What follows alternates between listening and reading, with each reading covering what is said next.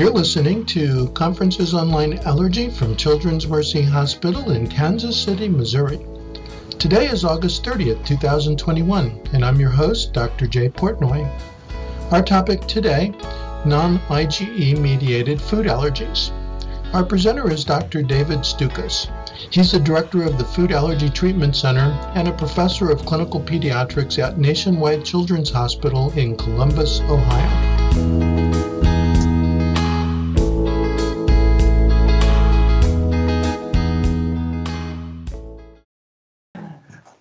Okay. Well, um, Dr. David Stukus, also Dave, um, is joining us. He's going to be speaking today on non-IgE mediated food allergies. Um, he is an associate professor of pediatrics in the Division of Allergy and Immunology at Nationwide Children's Hospital in Ohio, and he is the director of the Food Allergy Treatment Center there. Um, he also holds multiple leadership positions in the um, academy and college.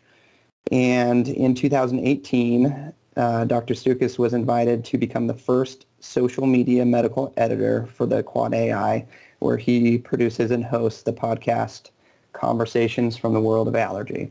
So um, we are always very grateful to uh, have you join us. And with that, I'll turn the time over to you.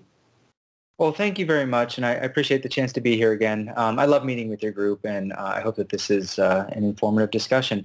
Uh, thanks for mentioning the podcast. If you, if anybody's interested, I had the opportunity to have Peter Hotez on, uh, and we published it Friday, and that was a, a fascinating conversation about uh, an update in regards to all things COVID. So, I welcome all feedback related to that as well. All right, uh, here are my disclosures, which are not relevant to today's talk, and here are our objectives, what we're going to go through today. But I always want to start with just putting it out there of when we see patients in the office, uh, whether it's parents of children or whether it's you know adult patients, they often have a lot of common concerns that fall into our expertise. Uh, and I would encourage all of you to spend some time online and uh, put in some common search engine terms and use the common search engines like Google or Yahoo or Bing uh, and just put in the questions of, you know, people are, are infatuated with their digestive tract uh, especially when it comes to their child. Are they pooping too much? Are they pooping too little? Why is their poop this color? Why is their, poop not this color? Why does it smell like this? So these are common concerns that we hear from a lot of people. And uh, when it comes to the GI tract, that's what we're going to spend most of today talking about. When it comes to any type of food allergy or really allergy in general, uh, the history is the best test, as you all know. What we're really looking for uh, when it comes to immune responses would be reproducible symptoms every single time an allergen is encountered. So we really want to focus we also need to use an understanding of prevalence or pretest probability. What else is in the differential diagnosis?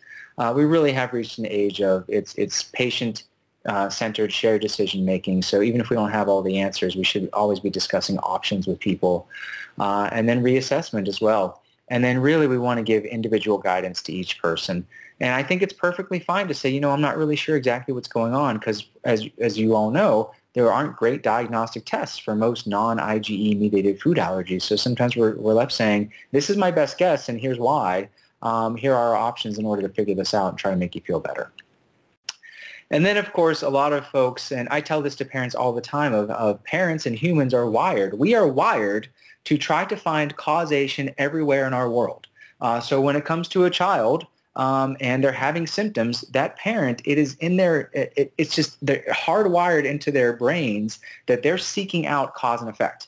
Whereas more often than not, what they're actually identifying is correlation and not causation. So we can help them understand these very important differences, especially for those poor mothers who are breastfeeding and they've taken 25 foods out of their diet and they're in tears in our office because they have nothing to eat and their child's no better. I also like to start with definitions with families. Sometimes I'll even you know, lead off with that at the start of a visit. If I know why they're coming in, sometimes I even know that it's unlikely that they have a food allergy, but I still want to help however I can and listen to their concerns. So I'll say, I'm really glad you're here today. I have a sense of why you're here. I'm going to get to a lot of questions and specifics regarding you or your child's care in just a moment. But if it's okay with you, I'd like to start by this, uh, relaying some definitions. And then I talk about how allergy is reproducible and immediate onset food allergy would cause these symptoms. And oftentimes they'll say, oh, I've never had those symptoms before. I've never seen those. You say, okay, good. Well, they don't have, you know, that immediate onset allergy risk for anaphylaxis, but they may have an intolerance. or that's more difficult to digestion, and that would be a specific food. And I always talk about lactose intolerance as the most common example. And then I talk about IgE and its role in food allergy as well as our testing. And oftentimes just kind of sort of setting that stage with some simple definitions it changes the expectations for the entire visit. And then more often than not, they're they're completely fine with me not doing a bunch of random IgE testing when they have no history that's concerning for IgE-mediated food allergy. I'm going to lead with the references. Um, I haven't seen any better references than these, and I keep checking. Uh, so you're going to see these throughout, but um, take screenshots, or I think I showed my slides already. Um, this is really all you need to know in regards to a great um, understanding of the evidence surrounding non-IgE mediated food allergy. And I'll talk about some of the practice parameters towards the end of today's talk. I do want to lead with um, rethinking some of the paradigms. And this was an interesting review published last year in JAMA Pediatrics that really looked at the cow's milk allergy guidelines, and they found significant um, issues with not only conflict, conflict of interest with the authors, but also sort of the, some of the symptoms that they said may be due to cow's milk allergy. And I, I think this is really important for a few reasons. One, our friends in general pediatrics are well versed in just saying, you know, if a child has any symptoms or the if uh, there's concerns, maybe it's milk allergy. It just gets thrown out there, whether it's colic or reflux or sleeping too much, sleeping too little, things like that. And I think there's this just tendency to just change the formula and see how things go. That may be the right answer, but when they use the word milk allergy, that really sets the stage and it, it changes expectations in the parent's mind. And then they think that their child may have a medical condition when it may just be part of the normal human existence as a, as a newborn baby or an infant. Um, and this review really went through and found that there may not be good evidence to support a lot of the guidelines that suggest um, you know, changing uh, cow's milk-based formula that may be due to allergy or things like that. And then we're seeing more um, important, uh, you know, um, opinions and, and, evidence surrounding uh, what do breastfeeding mothers do, because how much actual intact food allergen passes through breast milk after maternal ingestion? Probably very little, but we're, you know, for decades we've been telling mothers to take food out of your diet. Uh, and then oftentimes they take food out of their diet. There's either interval improvement in their child's symptoms or no improvement at all. And then they take more food out of their diet and they go down the rabbit hole and they, and they start with milk and then they go to egg and wheat and peanut and they read something on Facebook about this other mother who tried this and then they stop eating things and their child's no better because it had nothing to do with their maternal diet. And I love um, from this reference here in JACI in Practice published last year, a thoughtful approach is necessary. I really think we need to get away from blanket recommendations to tell all breastfeeding mothers to stop eating foods. And we really want to minimize unnecessary elimination diets. This is an algorithm that they published. I'm not going to go through this, but it really walks through some of the common reasons why moms are told to stop eating certain foods in their diet or they think that they're causing any issues, whether it's immediate symptoms, atopic dermatitis, or GI symptoms. Um, in, in my experience in 15 years of clinical practice, I, really it's been two mothers, two mothers that have absolutely had to remove a food from their diet in both instances, the baby was literally latched onto the breast, and they developed anaphylaxis while they were while they were drinking milk uh, from the mother. And then we were able to tease out which which allergen that was through skin testing and things like that. But for the vast majority of other mothers, uh, we can find ways to keep food in the diet and then treat the baby's symptoms and kind of go from there. Now, when it comes to non-IgE mediated food allergy, we're going to spend most of our time talking about the gastrointestinal forms of this uh, that are listed here, and we'll kind of go through these individually. I won't spend a whole lot of time on celiac disease today. There's a couple interesting things in, related, in relation to skin that we're going to touch upon as well. And then there's a fun story at the end in regards to Heiner syndrome and pulmonary hemosiderosis. You need to know that more for boards than anything else. All right, so where do we stand with the pathophysiology of non-IgE uh, food allergies? If any of you have figured this out, please let me know and I will update my slide deck. But as far as I'm aware, we still have a very poor understanding of exactly what's going on for the vast majority of these conditions. Um, it's likely T-cell mediated and other forms, of, other parts of the immune system that are activated, but these are definitely more reproducible upon ingestion. When it comes to trying to diagnose these properly, I, I recommend a consistent approach. And I do this, you know, this is just what I do with every single patient. You know, what's the clinical presentation? We have to start with the story. What are the common foods that can be associated with this condition? What testing may or may not be indicated? Uh, what's the management and then what's the prognosis? So really thinking through likelihoods along all of these realms as well as options can be very helpful. And starting with uh, FPIES, or as you know, food protein-induced enterocolitis syndrome, this was an interesting review in international consensus guidelines for management. This has really great information. We're seeing more and more case reports of interesting FPIES to foods that weren't traditionally associated with it. We'll talk about common foods in and I'll, I'll and management in a second. But I just want to sort of plant that seed that as we reinforce early introduction of allergenic foods and we're seeing more even, you know, pea-based proteins and things like that, I think we're going to see a bit of a shift in evolution in our understanding of FPIES and some of the more common causes. I, I personally seen um, peanut-induced FPIES, or what we think it is. Um, so I think, you know, we're going to see more of that as we move forward and as we get babies to eat more, more solid foods. As far as the clinical presentation, this really is a condition that presents in infancy. Uh, it can happen early on when they start on formula, three to six months of age, or once they start eating solids a little bit later in infancy. And the most common presentation is the acute form, about one to three hours after ingestion. Everything's completely fine, and then out of nowhere, they start puking like crazy. Sometimes they get diarrhea and they get lethargic, uh, and they they can look pretty ill. I just had somebody last week that they passed their FPIES challenge to oat, uh, they're two years of age now, but they were hospitalized at six months of age just because they got so dehydrated after uh, severe vomiting, which we thought was due to oat um, at the time. Uh, and they did quite well uh, with their oat challenge this time last week. Uh, also a chronic presentation that's described, and this is often very early in infancy. Uh, but, you know, I would just say that we don't have a full understanding of what chronic FPIES really looks like, and this may be other conditions to consider. So it's almost a diagnosis of exclusion uh, when you're considering it, especially since there's no good test available. What are some clues? It's really hard to diagnose it um, just after one episode.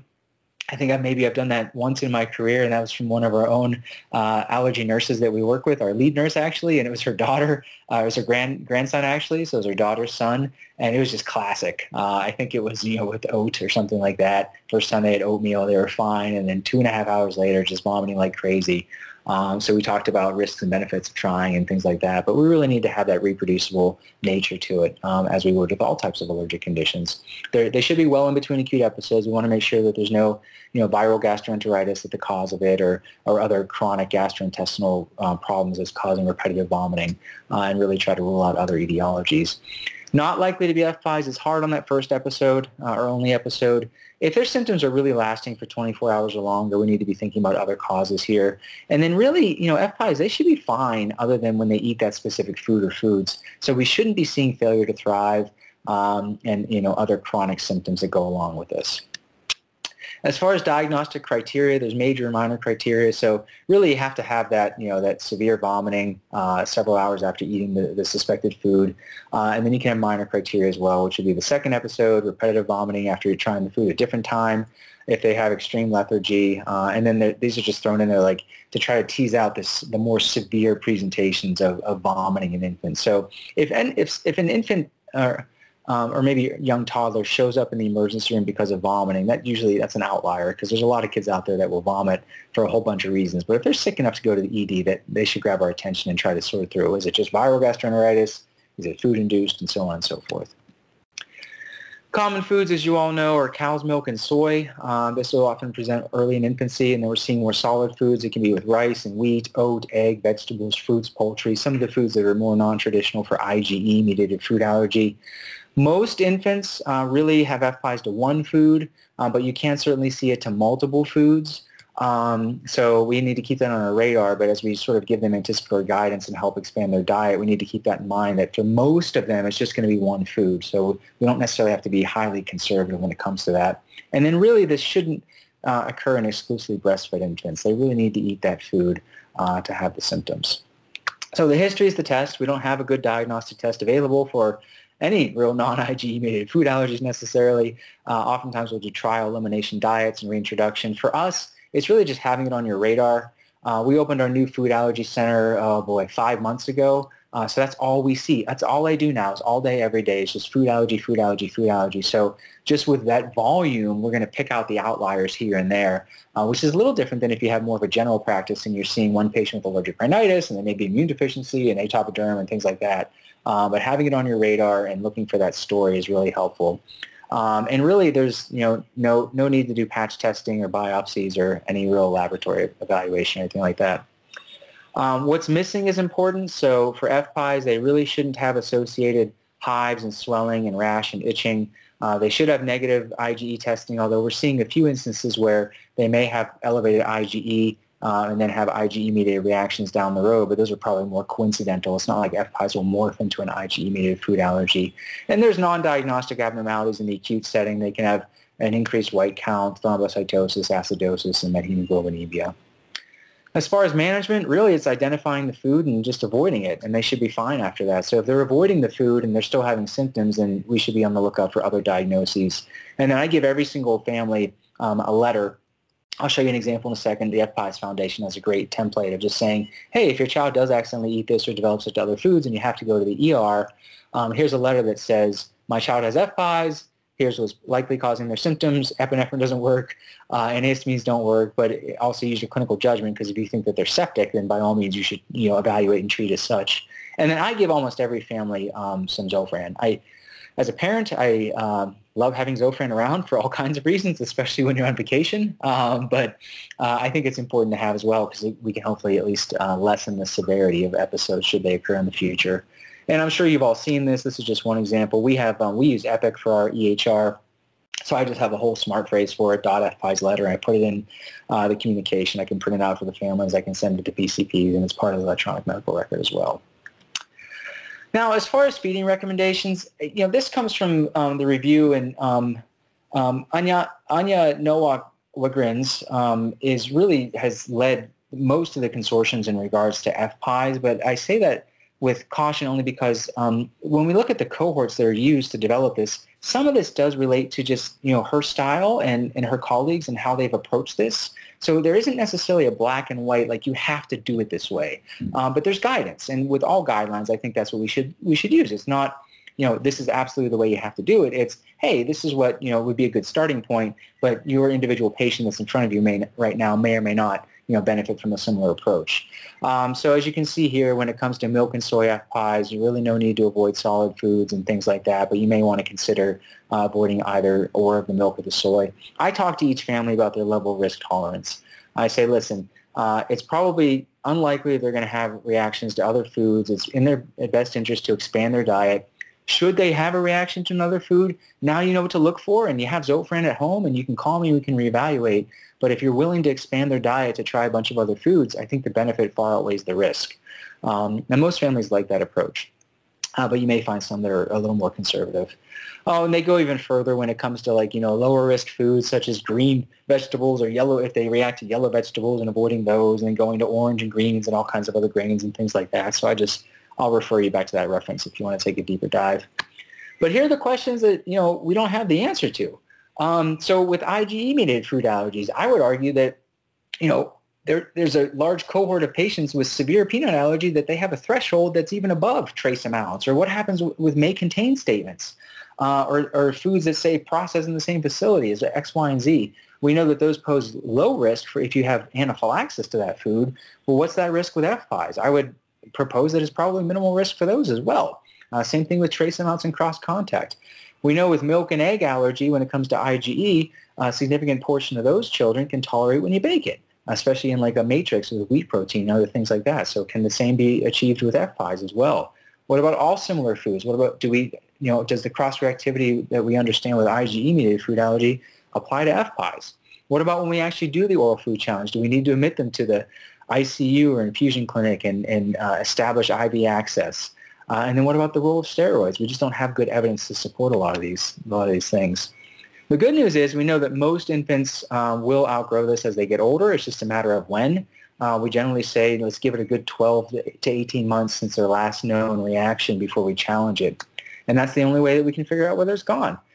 Um, some people do advise IgE testing before you re-challenge, especially for cow's milk because of the small case series that we're seeing of, of, some infants sort of crossing over, developing that IgE food allergy, but that's not well established either. And then really as far as a criteria for positive challenge, I'd say, you know, can you get them to eat about a serving of the food? And unlike the, the, the traditional food challenges we do for IgE food allergy where there's risk for acute reaction, I usually will give, you know, say 10 to 20% of what our goal um, right up front and then I'll wait 20 minutes just to make sure nothing weird happens and then give them the rest. And then they just hang out. And when they're successful and nothing happens, I mean, they're just bored out of their minds and they're ready to go. Uh, and I talk to each family about, you know, do we need to watch it for four hours, six hours? I usually say three to four hours. And then even if a reaction does occur as kids get older, it's generally less severe than their initial presentation as well. Uh, we don't uh, get, you know, establish IV access at our institution. Um, we do have an emergency room in, in, our facility, so that's very helpful should we ever need to um, establish that. And we also don't check blood testing, but there are some parameters that you, if you do establish IV access and do blood work during an acute episode, then this would uh, suggest a positive challenge. I just look to see if they puke. Um, so that's FPIES. I'm going to take tons of questions at the end. If it's okay with you, I'll kind of just keep going through, uh, and then uh, we can we can chat about everything. So let's move on to food protein-induced allergic proctocolitis. This is something I'm seeing more and more of. It, it's funny, like we opened our doors and the floodgates open. So like every infant that has any type of feeding issue we're seeing, which I love. Um, but I'm seeing this a lot more now than I have, er, you know, earlier in my career, just probably from a volume standpoint. Now, this is typically going to be very early in infancy in the first few months of life. And this is a happy baby. They're fine. And a parent changes the diaper and they say, oh my God, they're bleeding out of their, their rectum. What's going on here? Um, it can occur in breastfed infants as well. Uh, they may have some colic and gassiness, but again, they're not going to have failure to thrive. We're not going to meet them in the ICU with this diagnosis. Sorry if you're eating lunch or breakfast right now. This is a great example of, of what the diaper looks like. Um, common foods would be cow's milk or soy. Uh, it's very rare with extensively hydrolyzed formulas, uh, but it can occur with breastfed infants. At least has been described. Um, so uh, this, I think, this also falls into that realm of a lot of this evidence is sort of not very strong and goes back to what was initially reported, you know, 20 years ago, and you know, was just taught through the decades, and we keep saying these same things over and over again. Uh, so I would recommend caution if you if you experience this in ex- exclusively breastfed infant, but it's been described as such. IgE testing should be negative, and then you really aren't going to have many abnormalities. As far as management, it's you know clinical diagnosis. Uh, so you go with the likelihood, and then take the food out of the diet. I always, always, always recommend waiting 72 hours. Um, if parents are told we're going to change them from cow's milk to soy or cow's milk to elemental formula, and the next diaper change they still have blood in their stool, which they should until they heal, um, they are going to um, you know, really uh, freak out about that. So we need to, you know, counsel them and anticipate that and say, listen, this is going to take several days. So let's let's commit to this and take it one step at a time because the vast majority you can just switch to soy milk formula and they should do okay. Um, they may need some nutritional monitoring support if they are unable to tolerate that. Uh, and then rarely do we need to go all the way to amino acid formulas. This is a self-limited condition. The prognosis is extremely favorable. Uh, if you look through the literature, actually, most infants are it's resolved within a couple of months. Um, but you know, for the most part, we generally recommend avoiding dairy until they're 12 months of age, more for the iron deficiency anemia and, and poor absorption from, a, from drinking cow's milk. But they can certainly try expanding other types of dairy in their diet uh, if they're, once they're eating solid foods and everything's resolved. Uh, and then we just reintroduce the IgE testing. I still get referrals a couple times a year. Go see the allergist before we give them, you know, let them eat dairy again. But we don't need to do that. We can just, you know, take it, use our understanding of the pathophysiology, to let them feed again. When it comes to food um, uh, protein enteropathy, now these children are very sick. So, you know, if we think about significant involvement of the gastrointestinal tract, typically it's going to be onset in the first couple months of life, almost always in the first nine months. Uh, severe diarrhea, more than half will have failure to thrive, and they can look pretty sick. We typically are going to meet them in a hospital setting. As far as common foods, cow's milk formula, you can see it with other foods as well. At least it's been described as such um, but it really should not occur in exclusively breastfed infants. IgE test should be negative again. Uh, the biopsies are going to show nonspecific findings and just from all the damage that's being done, uh, and then nonspecific abnormalities like malabsorption, anemia, and then um, low albumin and protein as well. As far as management, it's uh, high index of suspicion, diagnosis of exclusion, making sure we're not missing any other causes for that, and then elimination of the diet. It's going to take several weeks because all that healing has to occur inside the gut. Um, and it can take several months before we actually see complete resolution of it. So lots of monitoring, lots of support. And then really the majority of them, it just goes away. It, this is a poorly understood phenomenon, and we can just feed it again when they get a little bit older. Uh, and then almost all of them have complete resolution by the time they're, you know, um, toddlers. Um, when we think about just the, the impact on the gastrointestinal tract, this was a, a cool review from last year, uh, and I love this just schematic when thinking through food protein-induced allergic proctocolitis. That's the, the last part of the intestines. Food protein enteropathy, that's more the middle part of the intestines. And then with FPIES, frankly, we have no idea. Um, so they just kind of cover everything. Um, but I just included that in case you want to read that review. All right, differential diagnosis, as you know, it's pretty large. Uh, is there acute or chronic infection of some sort? Uh, you know, as allergists, we're going to diagnose uh, Giardia uh, every once in a while. We're going to diagnose some weird parasitic infections if we have a higher index of suspicion. But I would say, um, in some respects, make them earn that diagnosis. So the vast majority of kids um, that we, or you know, infants that we, or tall, I should say children that we evaluate, um, aren't going to have these weird, weird esoteric things. But it's up to us to have that on our radar as well. Uh, and then just kind of going through looking for obvious anatomic abnormalities, inflammatory bowel disease. We're going to share a lot of these patients with our gastrointestinal colleagues uh, and other specialists as well. Okay, so moving on to eosinophilic gastrointestinal disease. Uh, the most common form of this would be eosinophilic esophagitis. Uh, we, again, don't have a great understanding, but, you know, it's Th2 pathway cytokines that we know that are involved, uh, and we're seeing it in, increasingly recognized with increasing prevalence. Uh, it does seem to affect males more than females, and there isn't a genetic component to it as well. Uh, this was a cool schematic that I included from, you know, this is now six years old, um, but it just kind of walks through some of the the better understanding of some of the genetic predisposition as well as the foods that may be involved in causing um, irritation of the esophagus and inflammation and things like that. Although there's recent um, uh, speculation that this may be more of like a um, barrier disorder, not necessarily inflammatory disorder, similar to asthma. Uh, I think there's great arguments, and I love the pro-con debates of is this a barrier disorder and inflammatory disorder, and which came first, the chicken or the egg. As far as the clinical presentation for eosinophilic esophagitis, uh, in children, um, it's more often than not chronic abdominal pain. They can have nausea, vomiting, sometimes failure to thrive.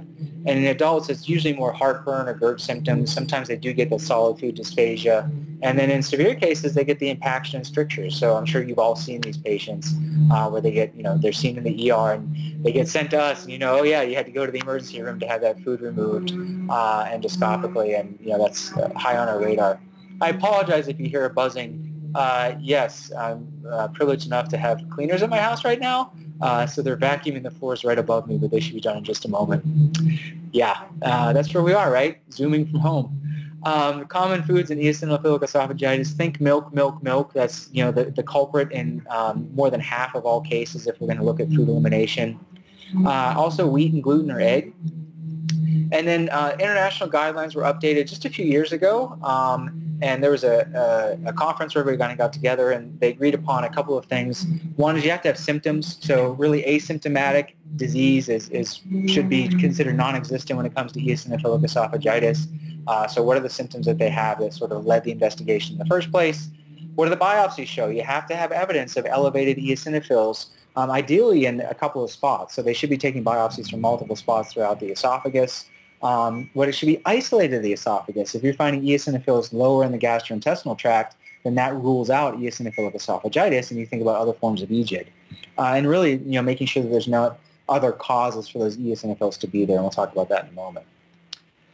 As far as endoscopy, oftentimes it's normal, especially in children, uh, but certainly if you see some of these um, findings, it, it is very strong. Uh, it should give strong consideration for EOE, especially if you have the rings or the furrows or exudates um, but you don't have to have that. So that's why I want to tell, uh, and I think people are well versed in this now when they do biopsies. Even if it looks normal, take multiple biopsies from all, all three points in the esophagus to, to make sure we evaluate thoroughly.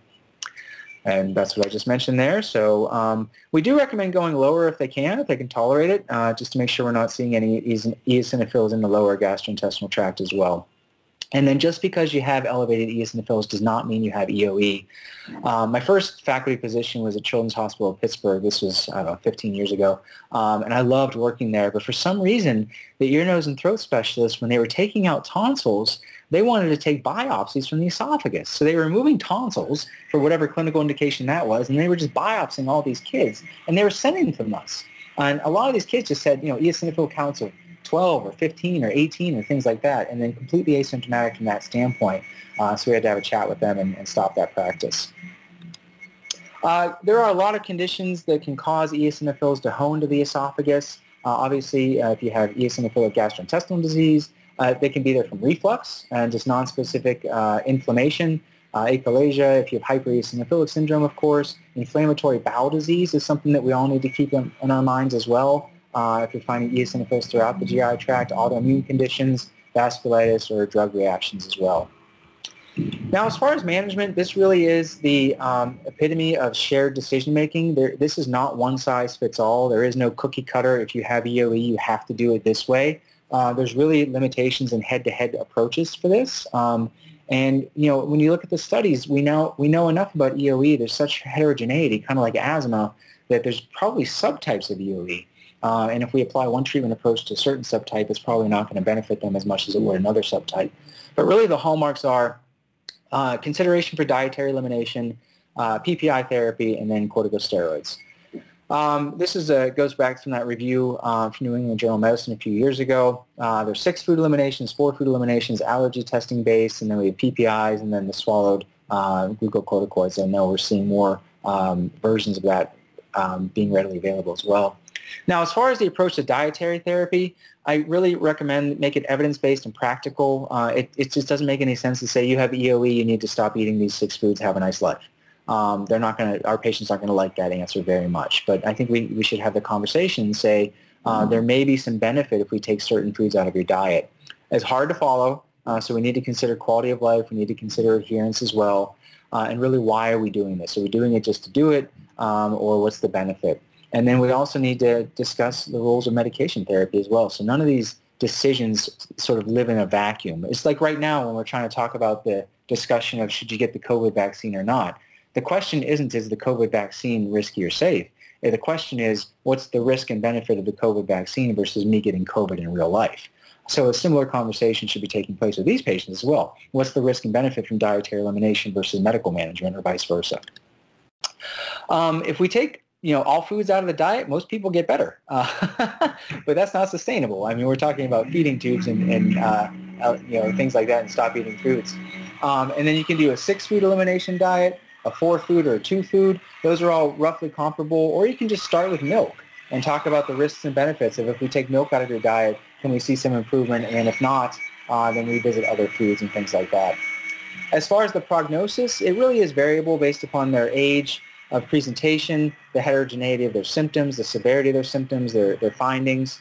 Uh, we do strongly recommend that everybody be followed long term. Uh, this really shouldn't be, oh, you have EOE, take milk out of your diet, have a nice life. It really should be, let's come up with a plan together using shared decision making. Let's reevaluate that in two months, four months, six months, and kind of go from there. And then I think it's still relatively controversial. Some people say you have to repeat that endoscopy and get the biopsies, otherwise you have no idea whether there's any improvement. Others would say if they have true severe symptoms on a regular basis and you do an intervention and the symptoms improve, we can use that as a guide and skip the biopsies because every time we go in and try to biopsy, you know, that's an intervention and, and you know, potential for complications as well. Uh, plus, it's a real pain for patients to have to do that repeatedly. So uh, it's not really, it's, it's set it and forget it, one size fits all. It should be this conversation and hopefully working well with the, the gastroenterologist um, that's helping co-management as well. Um, we had uh, we published our latest practice parameters in conjunction with the American Gastroenterological uh, that's a, a, mouthful Gastroenterological Association, uh, and we published these last year. Um, and this was a very different approach. This was a grade approach, and what the grade approach does is we took specific questions and we did a systematic review to really look at the literature to try to address each of those questions. I'll show you what that means in a second. And then we really, you know, um, grade the strength of the evidence as well as recommendations. And so there's recommendations that are either strong or conditional, and these are meant for both the patient and the clinician. Uh, so for like strong recommendations, you say, look, most people would want this, but not everybody would. There may be considerations when you wouldn't. Conditional recommendations, the evidence doesn't really point us in one direction or another. Uh, there's, you know, these are thoughts, but many people would avoid that. And then the same thing for the clinician. So again, when it comes to any guideline that you're reading, uh, it really is just that, a guideline. That patient in front of you is not a research trial participant. They are a patient. They may not even fit into the guidelines that are established for whatever reason. Uh, so I think it's a good starting point, but doesn't mean we have to do it for everybody. Um, then we have different levels of confidence. We have very, you know, very confident, moderately confident, limited confidence, and then very little confidence as well. So let's go through if we look at, you know, some of the different recommendations and questions. So first recommendation, patients with symptomatic or esophageal eosinophilia um, the Joint Task Force suggests using proton pump inhibition over no treatment.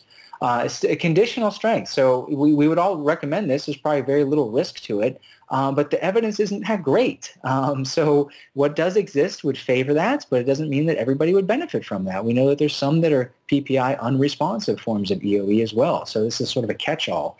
Um, that individual patient may not fall in there. Number two, patients with EOE, the Joint Task Force recommends topical glucocorticosteroids over no treatment. Now, this is uh, much stronger evidence. So we know that you know steroids make eosinophils go bye-bye, uh, and it makes a lot of sense. And we know that with eosinophilic esophagitis especially. Number three, in patients with EOE, they suggest topical glucocorticoids rather than oral. Uh, again, there's no head-to-head studies looking at this, um, so it's a conditional statement. But we know that we're going to, you know, still have side effects or potential for side effects from topical glucocorticoids, uh, but they're much less than what we get from oral glucocorticoids.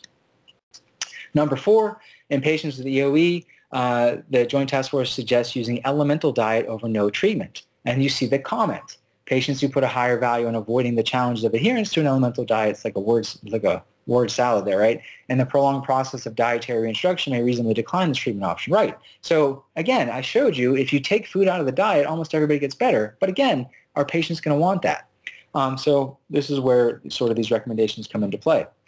Number five, um, in patients with EOE, task force suggests an empiric six-food elimination over no treatment. Again, the six-food elimination diet seems to work fairly well uh, for most people involved in these trials, but, it, but would that patient in front of you, actually want that as a therapy. Same thing looking at allergy testing-based elimination diet. Um, so the evidence doesn't really support our standard use of IgE skin prick or blood tests to you know find those foods that would go along with EOE. You know we didn't we don't have many diagnostic tools for non-IgE mediated food allergies, so it makes sense that people started looking at the value of specific IgEs in evaluation of EOE. Uh, but this goes back 15 years, and we find that it's not an IgE-mediated disease. So more often than not, you just have very atopic people, and you probably are getting more false positives than anything. So is it helpful if it's negative? Potentially. Is it helpful if it's, evident, if it's elevated? Potentially. Um, so I, I, I, encourage each of you to you know approach this using your understanding of the evidence. Uh, but for the most part, we really stopped doing you know large panels of t- testing for dozens of foods for the patients that we're seeing with EOE a long time ago.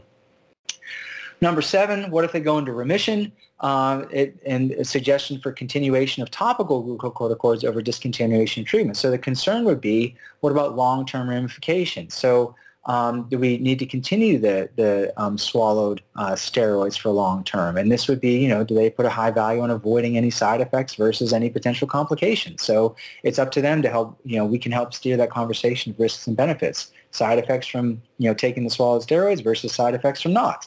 Uh, if that patient who had severe impaction, they may want to do everything they possibly can to try to prevent that in the future whereas the patient with candidiasis may want to do everything they can to prevent that in the future. And there's other there are other questions as well that looked at things like omalizumab and montelukast that has very low evidence to support its role. So really, where do we come to when it comes to EOE? I, I think it, it has to go to that shared decision-making approach, and we, we can you know uh, discuss the options with those patients that are in front of us. We can discuss specific choices about how we're going to approach those, and then most importantly, reassess it. Let's come up with a game plan together. Um, I encourage all of us to really not focus on the outcome. I think we need to focus on the decision-making process because if we're comfortable with the decision-making process and that patient's comfortable with it, if they have a bad outcome, we still came to a good decision. If they have a good outcome, sometimes that blinds us and we, all of our biases come into play. So bad outcome would say, oh, I knew I should have done the other thing. Good outcome, nobody ever goes back and says, aha, I knew I was contemplating choosing the other path, but I'm glad I didn't. Nobody ever does that. They just focus on the outcome. So let's focus on the decision-making process, put a plan in place, reassess. If things aren't going well, you come up with a new plan. All right, we're going to shift gears as we finish the last few minutes here. Um, so we'll go to the skin conditions associated with non-IgE food allergy. Um, I'm ready to rename our food allergy center the Allergic Contact Dermatitis Center of America. Uh, I walk into rooms all day, every day, and every single child looks the same. Uh, they often will have fair skin, strawberry blonde or blonde hair, and blue eyes. Uh, and they have a parent who has a history of sensitive skin and chronic rashes. And then we get the story that uh, when foods touch their skin, they break out in a rash. Uh, so it can be from more of a contact dermatitis, or it could be from a non-specific uh, irritant dermatitis as well. But we know there's a long list of foods that can cause these symptoms. Typical story is food touches the skin, um, and um, I get a rash in that area. But otherwise, Uh, the child is happy, not having generalized urticaria, not having anaphylaxis, things like that. Um, and then in subsets of patients, there are some more um, prevailing uh, causes of it, especially hidden sources of it. Uh, you can get that local inflammatory response. And then in very rare cases, uh, systemic ingestion of things with, you know, if you have a nickel contact dermatitis and you're eating foods high in nickel or foods that are uh, canned foods and things like that where they could absorb nickel, um, you know, there, there's case reports and case series that this can cause more systemic manifestations. But I would say those truly are the most severe of the most severe. And the vast majority of people aren't going to have to follow a nickel-free diet if you diagnose them with nickel contact dermatitis. Other considerations, I mentioned the irritant contact dermatitis. Contact urticaria can occur as well. Um, I had the, the craziest food challenge a, a month ago as a child with um, presumed milk allergy, but their history was contact urticaria with milk, and their specific IgEs were super low, and they were about two by the time I challenged them. This was a, call, a patient, uh, the patient was a, from a colleague of mine. So during the challenge, we, we just started drinking some milk. The first step, they spilled the milk on their wrist, and they broke out in pretty significant urticaria. And, you know, I knew the specific IgE was like 0.87 or something like that. And I thought, man, I had the conversation, but this is, this is concerning. Like they're clearly having a reaction from where it touched their skin, but they were otherwise acting fine. And we decided to move forward. And lo and behold, they were able to ingest a ton of dairy and they, they did great through ingestion, but they had that contact urticaria from the milk. So we decided to keep it in the diet. And if they break out in, you know, urticaria wherever it touches the skin, that that's not, that's not worrisome and they're probably at low risk for anaphylaxis. So those patients exist out there. And then these more rare uh, complications like photoallergic or phototoxic contact dermatitis. Uh, there's just some great examples of, of um, different types of these um, allergic dermatitis you can get a lot of peak times in food handlers uh, whether it's chefs or uh, you know people who work in the restaurant industry or maybe even cooking at home. Uh, some of the fruits and some of these will have shared homology with some of the plant proteins that can cause pollen allergies and things like that. Um, and so these are the examples of how it may present. Now we do have patch testing available uh, that we can use for a lot of different foods to see if that may help guide us when it comes to a contact dermatitis.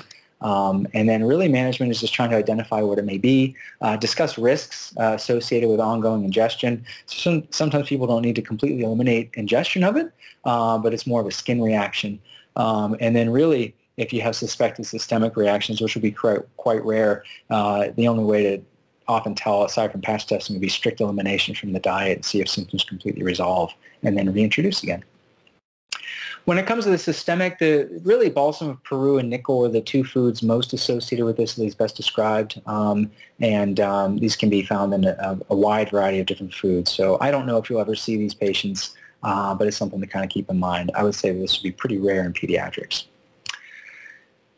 And then lastly, we're going to get to the uh, potential respiratory complications of non-IgE food allergy. So this was a, a, headline from the New York Times, uh, 1997, so uh, a little ways ago.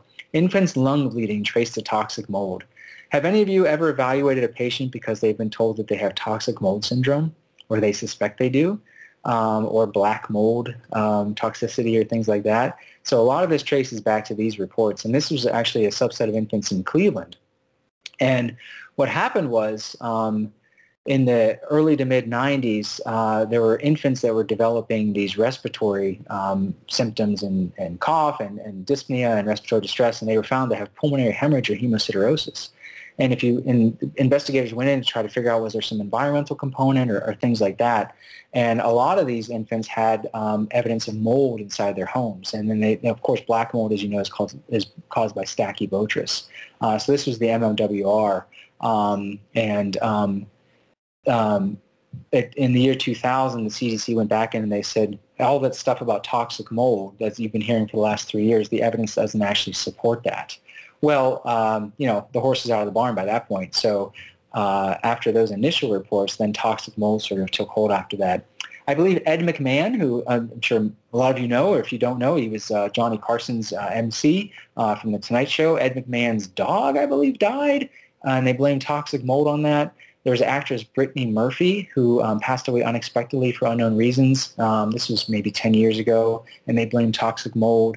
Uh, you can go online and look at the Mold Treatment Centers of America that will do all kinds of, you know, uh, chelation therapy and they'll do all this evaluation. And this is a whole sub-industry of contractors and others going into your home and measuring and saying you have toxic levels of mold here. So i just wanted to give you the origins and the backstory of this. But what this likely was was a very rare condition called pulmonary hemosiderosis or heiner syndrome. Um, it's very uh, younger infants and toddlers. And all of them have the same story of they were fed cow's milk formula from birth chronic respiratory symptoms, pulmonary infiltrates, and then they have these high precipitating antibodies to cow's milk. And then you, you take milk out of their diet and they get better. Uh, this is a very rare condition. I've never seen this, or uh, I don't know if you ever will or not, uh, but this is what was described from that. So that kind of wraps up, um, and I'm happy to take any questions. But in, as we sort of um, come to a conclusion here, I, I also want to plant the seed. We talked a lot about shared decision making. We talked a lot about how it's not one size fits all, no cookie cutter approach. But when it comes to a lot of these patients with non-IgE mediated food allergies, I think it really does take a team. Uh, so we have our primary care uh, focus, uh, you know, and, and, the patient's always at the center of this as well. But oftentimes we're going to be involved from allergy immunology, uh, gastroenterology is involved, and then we need to have a good relationship with our nutritionists and dietitians as well. Uh, and then sometimes it does get to, you know, if they require emergency room care for whatever reason, or if they require you know, further services uh, for feeding disorders and things like that. Um, we may need to get psychology involved or occupational therapy and things along those lines. So these can be complicated patients, um, especially since we don't have a great test that says yes or no, that's what this is. Uh, but high index of suspicion and just understanding likelihoods and uh, pathophysiology can go a long way. And I'll conclude with this. So this was the, the New England Journal of Medicine Journal Watch on that review that I showed you at the beginning about the cow's milk allergy. And I love this comment. While it's easy to blame reflux, colic, rash on cow's milk allergy, overdiagnosis may lead to unnecessarily restrictive diets that discourage breastfeeding mothers or prompt the use of expensive specialized formulas.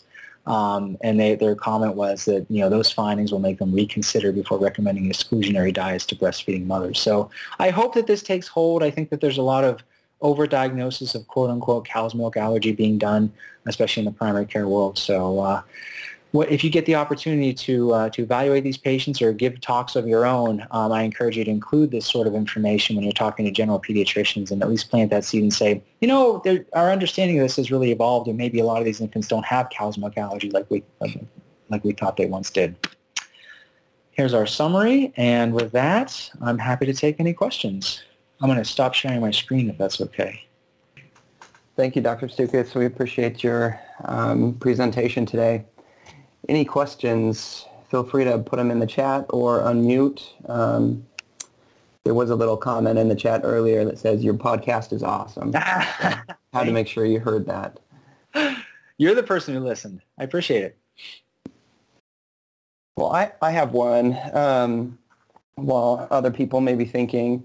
So I've heard it, I've heard people say that there's um, potentially a little bit of evidence out there to suggest that if you avoid a food um, for an extended period of time, that you could develop a IgE-mediated food allergy to that food. So in situations like um, EOE, where maybe a food is taken out of the diet for a long time, or um, even um, you know some of the other non-IgE-mediated um, food um, disorders that you talked about where we would avoid a food for a certain period of time and then bring it back into the diet. So just curious, is, is there much evidence or any good evidence out there to really suggest um, that we're putting patients at risk by avoiding foods for a certain period of time? Yeah, that's a great question. The evidence is strongest in infants with atopic dermatitis, um, and you know, I think it's, I hope it's well established at this point that if it, you know, we know that there's a lot of falsely elevated IgE, specific IgE results in infants with atopic derm because they have very elevated IgEs overall. But if you take a baby with with atopic derm and they're eating a food and you do IgE testing and then you take the food out of their diet, you are the one potentially putting them at risk to develop IgE food allergy. So if they eat the food without acute onset symptoms, they are tolerating that food even though they're sensitized. Uh, if you take it out of the diet, a lot, you know, there's a, a, proportion of those kids that will go on to develop those reactions. So we can cause harm by doing that. Uh, it's another thing we want to counsel our, our general um, pediatrician friends about as well. But as far as EOE and other conditions, I haven't seen good evidence that shows that we're putting them at risk. Um, I, know, it's a good question. If anybody else out there on the call has, has seen good evidence, please let us know and let's talk about that. But, um, you know, the way I think about it is it's a really scary proposition that if we take food out of the diet, anybody can then develop allergy to it. I don't believe that's how allergy works, especially once you've re- established, you know, you're older in childhood or, or uh, adolescent or an adult. Uh, it's kind of like if, for those of you who watch The Walking Dead, right? What's the secret? Everybody's already infected. And then when they die, that's when they turn into zombies. Um, so that's a really scary proposition that we're all allergic. And then if we stop eating it, that's we're ticking time bombs and we develop allergy. And I think fortunately it just doesn't work that way for the vast majority of people. Awesome. Thank you. And I got to work in a zombie analogy. Even better. Dr. Stukus, one um, a question I had also um, in regards to eosinophilic esophagitis was that um, if you have a patient that's on chronic topical steroids, um, do you manage as far as like potential complications of long-term, um, like like DEXA scans, things like that? Yeah, great question. I think you have to consider that. Um, yeah, I think it everybody's different, right? What what does long term in include and uh, what age are they and what are the potential risks, what other comorbid conditions they have. But I think that we're even seeing that now with um, you know asthma medications. Uh, I, I, we need to all be aware of that. If we're going to be involved in prescribing or co-managing these medications, then yes, we, we should be keeping that on our radar.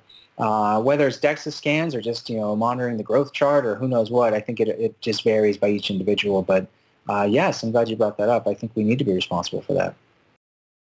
Well, I, am I'm, I'm happy to hang out, but um, if there's no other questions, that's fine as well. I, I really hope that we all get the chance to be together in person sometime soon. Or you know, the college meeting in New Orleans, for a lot of reasons, is looking like it's in jeopardy. I'm I'm no longer on the planning committee, so I don't know exactly what's happening with it. I know right now it's they're hoping for in-person or virtual option, but uh, they're being devastated right now, unfortunately, with the hurricane as well. So we shall see. But at some point in the future, I hope to see all of you again uh, in person and. Um, I hope everybody stays safe.